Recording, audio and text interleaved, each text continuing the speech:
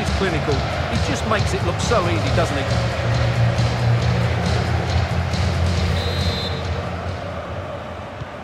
So underway again, and a 2-0 advantage here.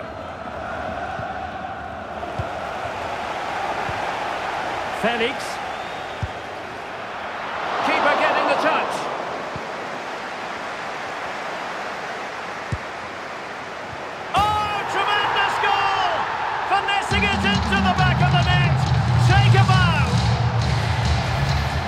Well, let's look at this again, and what a lovely piece of improvisation. It's about the only way he could score from that position.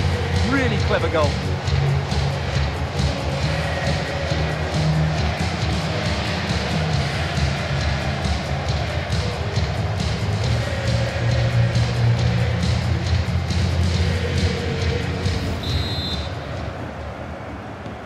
So on with the game again.